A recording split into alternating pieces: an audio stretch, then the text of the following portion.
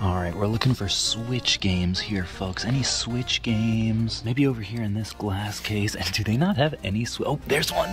folks, I think this might be their only Switch game in the entire store right here. It's honestly a really good price at $30, which is great because I'm on a mission right now to collect 250 Switch games while spending no money out of pocket. Which means that in order to buy that $30 Switch game, I've got to find at least $30 worth of expected profit by flipping other stuff in this store. For example, folks, this Vampire Secrets game that I just found right here for 8 bucks looks like I can get $14 for after fees on Amazon. So because I'll make $6 when I flip this game, we have $6 in our Switch game budget. And speaking of Switch games, look what I just spied. Apparently they do have some that aren't in the glass case. SpongeBob, okay, yeah, that is one that I'd like to have eventually. NBA, uh, not so much. I'm not a huge sports guy. And Rapala Pro Fishing. Although, folks, I just looked up this Rapala game, and apparently I actually could make $3 flipping it on Amazon, so I think I'm just gonna do that and get a little bit more budget for the games that I do want. I just did a bunch of looking and scanning in this uh, disc section over here and didn't find a bunch of stuff that was underpriced. But we still have the glass case over here and I can sometimes do really well with like cartridge stuff, so I'm optimistic. At first I thought this PS5 game might be worth it because it's sealed and you can see it's been marked down, but unfortunately I'm not approved to sell it on Amazon. Oh no! Oh my gosh, folks, look what I just spied. Yu-Gi-Oh! Reshef of Destruction for only 15 bucks.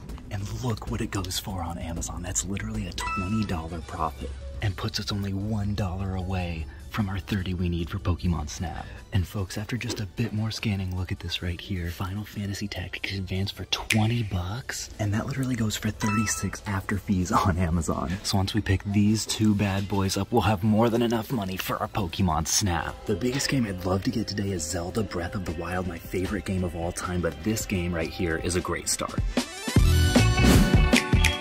Folks, the first stop was a huge success, coming away with Pokemon Snap for 30 bucks, which is a great deal. Granted, I thought the game played a little bit slow. I loved the original. Maybe the original was slow too. I don't know. You guys tell me in the comments. But we also found so many flips that we actually have an excess $15 to spend on more Switch games. I've actually heard that GameStop is still running their half off clearance Switch games, which would be a great place to start. I just kind of wish there was one close by. Whoa. And that is what I'm talking about, folks. So really all we have to do is find enough, find some clearance games in the Switch section, and hopefully our $15 budget will take us farther than it normally would, although I'm not seeing any yellow stickers over here. Hmm. Are y'all still doing um, 50% off the clearance stuff? Yep. Do y'all have any clearance Switch games? Oh, they're okay. Great, thank you. Oh, folks, they do have Breath of the Wild, but it's not on clearance, so we can't afford it. Shoot. Oh, I'd love to have Strikers too. That'd be amazing. So I've been trying to find some flippable games in the clearance section to build the budget a little bit, but unfortunately, even after half off, a lot of these just are not going to be worth it to flip. And unfortunately, with the Switch games, not only are none of them going to be $15 after discount, but like, for example, with this one, half off sounds great until you realize that it goes for $20 brand new on Amazon. Well, I guess you could say that wasn't a very successful game stop. It is heating up in here, folks. The puns, the puns are getting too hot right now. Folks, I'm really hoping that we can find some good stuff to flip in this Cash America pun because the last stop of the day is going to be Game Exchange. I know for a fact they're gonna have a killer Switch section, and so I wanna have a decent budget to buy at least a few good games. All right, so I found the electronics section, but I've got some Anchorman cards back there. Kind of a big deal. But unfortunately, not a whole lot in the way of video games at this pawn shop. That's a bummer. And unfortunately, the disc game's not looking much better.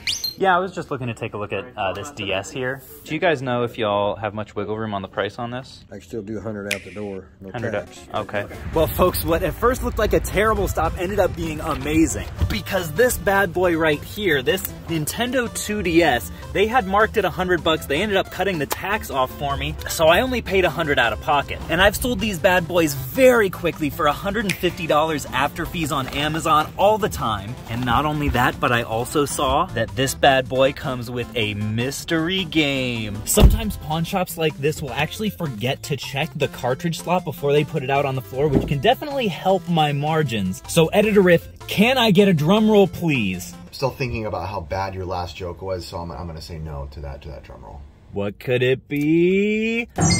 Oh, well, folks, I mean, what can I say? It is a Mario game. That's not a total loss, but after fees, it's probably worth less than 10 bucks. But seriously, folks, going from a $15 budget to a $70 budget is a game changer. I'm getting down here to get out of the wind. Our next stop is gonna be Toy Crazy, which I've been told also has video games, so we'll see if there's anything worth flipping, or maybe they even have Switch games too. We'll see.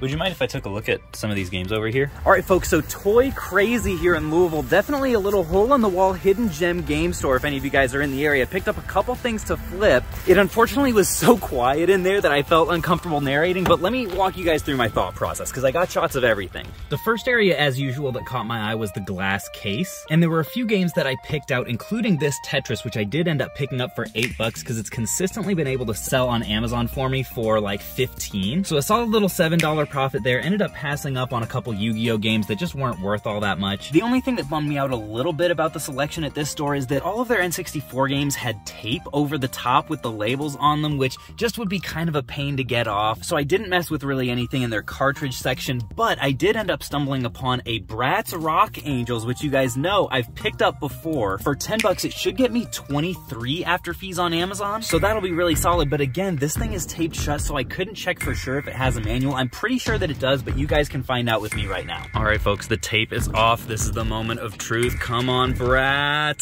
Let's go! $20 profit in the bank. We're gonna be rolling up to Game Exchange in style, folks. Day 44 of giving Chipotle free advertising until they sponsor me. Just wanna say, Chipotle, if you're watching, I am incredibly cheap. I will literally take a coupon for a half off burrito for a sponsorship from you. All right, folks, it's attempt number two to try to succeed with GameStop clearance. We'll see if we have any better luck this time. Also, with $90 budget, we may actually be able to buy some stuff for the collection. We'll see.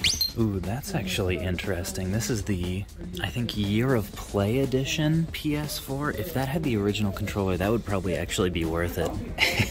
and this store just has a massive pile of all their clearance stuff. This, well, I guess it's pretty clear what all's on clearance at least. Hold up, is this Among Us plush on clearance for $40? okay, this is what we're looking at though. Okay, that is not great. Even at 25, I don't know if that's worth it. Okay, looks like I'd normally actually be paying 39, so that's not a bad deal, but I'm just not that interested. We get this one for 15, but I think you can get this for 16 brand new. This one we saw already, not worth it. Ooh, this, however, Need for Speed for 15 is pretty good. This one even used is normally more like 25. I have played it, it's actually a really fun game. My only qualm is why in the world would you make a Need for Speed game one player? That makes no sense. Taking a look now to see if with the remaining budget, I think this will give us like 75 left. If there's anything that I can't live without in the pre-owned section, oh no. This, oh, this is the first time I've ever seen this used in the wild. And Turtles in Time was literally one of my favorite, honestly, probably my single favorite SNES game. So I've been so excited to play this.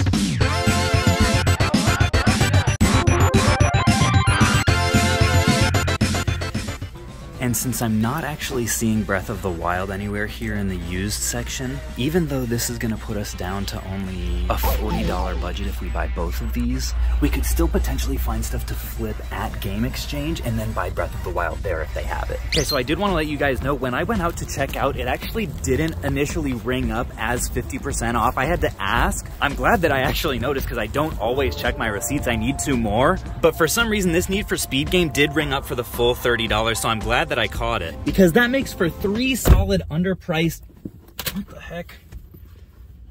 Reseller Squirtle? You attention hungry little... Do you have any wiggle room on that price? Now folks, as we head into our final stop here, I should let you guys know that the reason that I'm doing this mission, oh, I'm in the middle of the road. The reason I'm doing this mission switch challenge is to try to prove that even though video game collecting is really expensive, you can still do it if you're willing to hustle a little bit. So we're going into this last stop with 40 bucks and a dream, and the stakes have never been higher.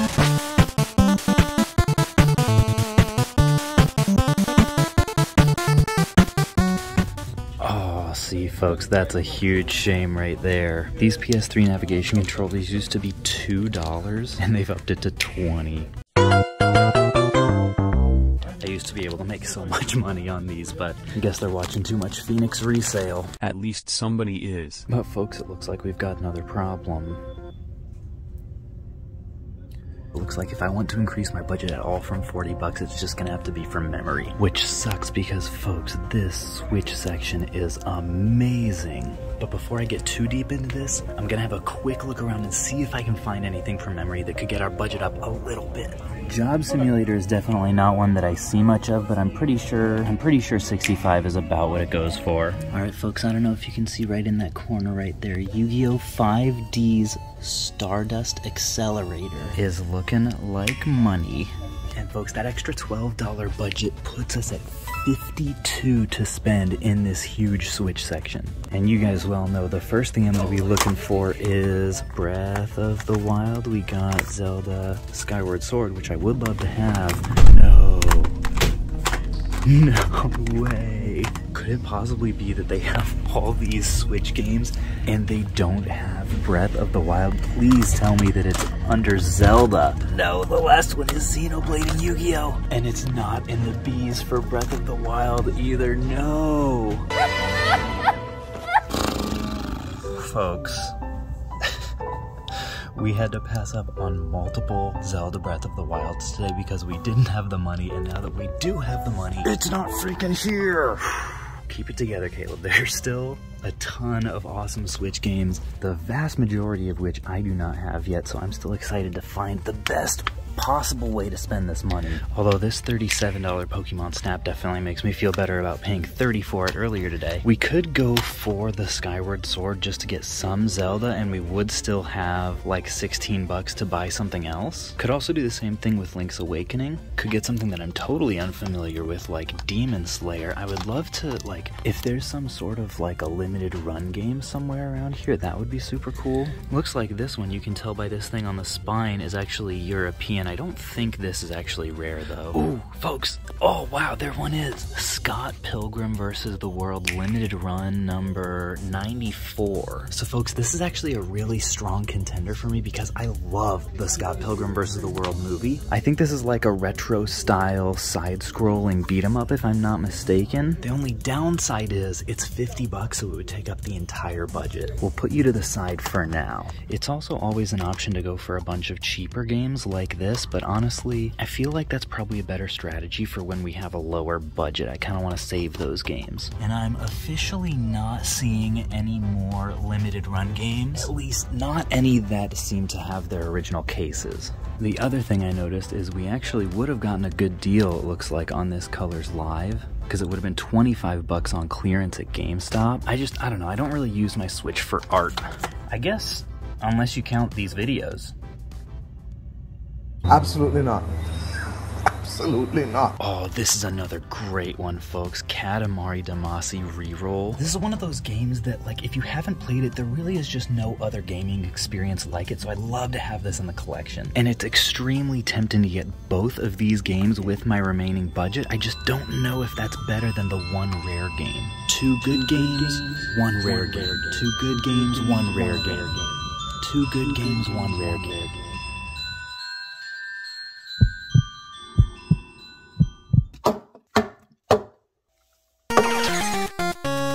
Folks, it looks like today the collector in me won out over the gamer, and I did decide to go with the rarer game. If you guys are enjoying Mission Switch and wouldn't mind subscribing, that would mean a ton to me. Check out this Switch video right here if you are enjoying it, and I will catch you guys on the flip.